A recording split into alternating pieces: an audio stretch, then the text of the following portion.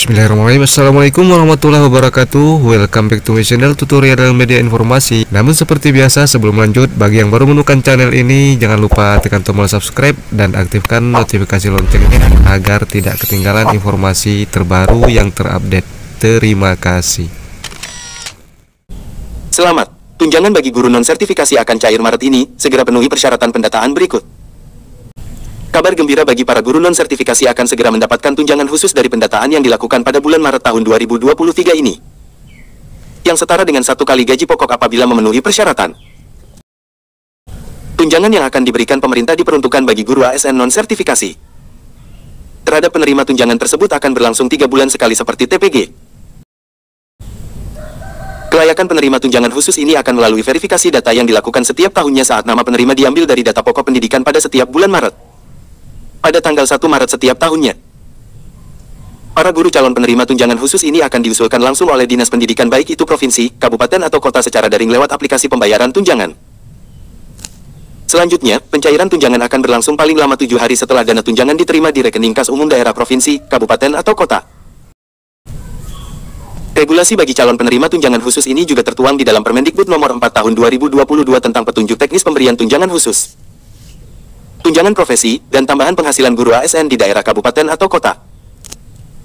Untuk bisa mendapatkan tunjangan yang dimaksud, guru-guru non-sertifikasi harus mengetahui dan memenuhi persyaratan sebagai berikut. Guru aparatur sipil negara di daerah yang berada di bawah naungan Kemdikbud. Guru yang mengajar pada satuan pendidikan yang tercatat di dalam data pokok pendidikan. Guru yang mempunyai nomor unik pendidik dan tenaga kependidikan. Guru tersebut harus memenuhi beban kerja sesuai dengan ketentuan pada peraturan perundang-undangan. Guru yang sedang melaksanakan tugas mengajar di satuan pendidikan daerah khusus yang dapat dibuktikan dengan surat keputusan mengajar. Daerah khusus yang dimaksud ke dalam persyaratan dalam tunjangan khusus untuk guru non-sertifikasi yaitu sebagai berikut ini. Daerah dengan kondisi masyarakat adat yang terpencil. Daerah terbelakang atau terpencil. Daerah yang berbatasan dengan negara lain. Daerah yang mengalami bencana sosial atau bencana alam.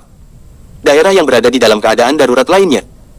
Apabila guru yang pernah menerima tunjangan setara dengan satu kali gaji pokok ini, maka pada saat pengusulan di tahun berjalan tidak lagi memenuhi persyaratan yang telah ditentukan sebagai calon penerima.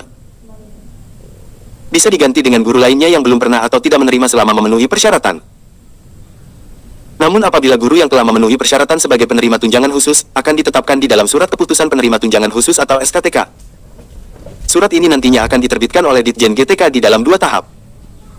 Tahap pertama akan berlaku pada semester 1 terhitung dari bulan Januari sampai dengan Juni. Tahap 2 berlaku pada semester 2 yang terhitung dari bulan Juli sampai dengan Desember di tahun berjalan. Berdasarkan SKTK yang telah terbit tersebut nantinya pemerintah pada daerah provinsi. Kabupaten atau kota sesuai dengan kewenangannya akan membayarkan tunjangan khusus langsung ke dalam rekening penerima.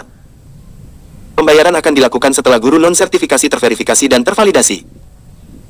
Demikian informasi yang dapat diberikan mengenai persyaratan mendapatkan tunjangan khusus untuk guru non-sertifikasi yang wajib untuk diketahui.